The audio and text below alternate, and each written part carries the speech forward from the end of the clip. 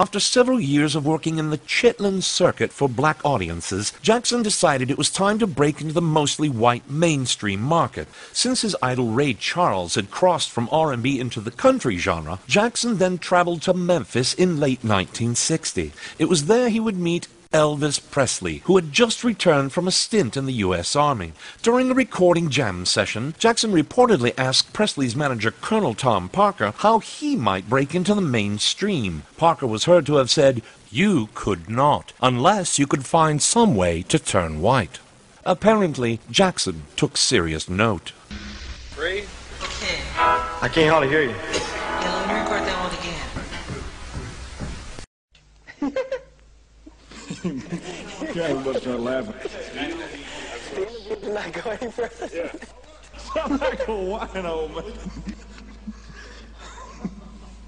Their further discussions on the subject of race led to the collaboration heard on these scratchy outtakes from the original acetate discs found in Jackson's secret vault.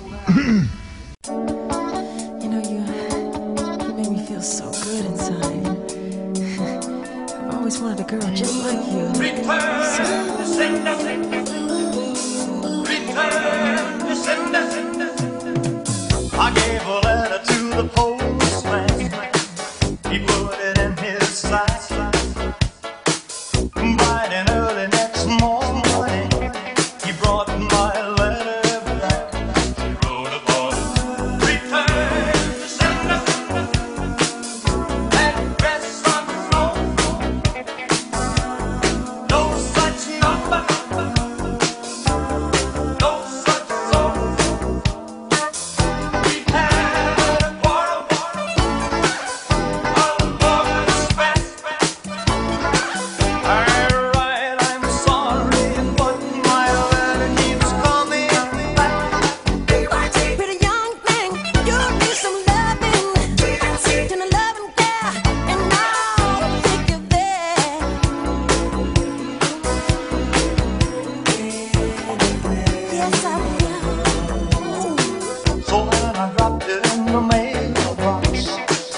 as any special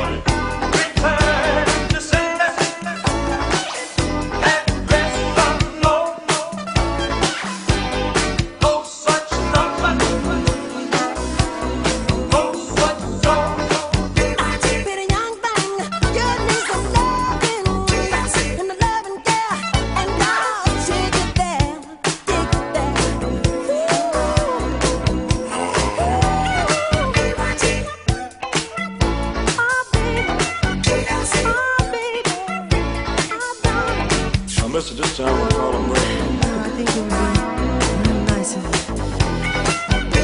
you and I could, uh, you know, just. It's such a PYT to me. Pretty One more time.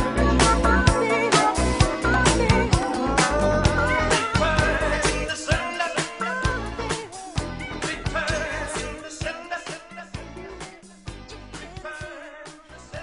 sender.